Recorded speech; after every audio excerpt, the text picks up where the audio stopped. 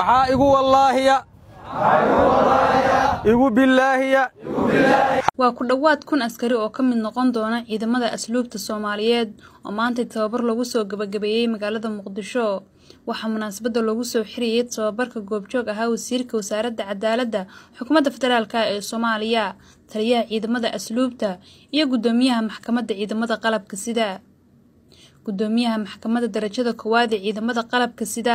xasan cali nuur shuute oo la dardaarmayay ciidamada ayaa sheegay in wax weyn ay ka qaldan yihiin qaabka loola tacaamulo maxaabiista iyo nidaamka xabsiyada ka jira loona baahan yahay in ay wax ka bedelaan waad ogtihiin qof walbana waa ogyahay sida xabsiyada maanta jira loo maamulo. Ma aha sidii loo baahnay ma aha. Qof maxbuus ah oo dembi lagu helay oo loogu talagalay dadka oo ku dhex jira waa laga soo saaro meel lagu karantiilay oo loogu talagala meeshaasi in lagu dhaqan celiyo asigoo akhlaaq wanaagsan dib loogu celiyo loogu talagale haddii uu xabsigii markii uu galo ou isgaarsiin haysta ka warran ou taleefon haysto xitaa uu sochial mediyihii uu ku jiro ka warran. Waxaa ka sii dara intaasi markii uu xabsigii iyo ciqaabtii sharciga u jideeyo ou dhammaysto oo bannaanka u laabto wax dhaqan celina ma qaadan ileena wuxuu ku laabanaa dembigii marka hore uu ciqaabta ku mutuu ku laabanaa. Kii argagixisadahay argagixisuu ku laabtay kii daraagiska isticmaalaya isticmaalka muqaadaraadka ku laabtay kii tuugga ahay burcadnimadiiu ku laabtay.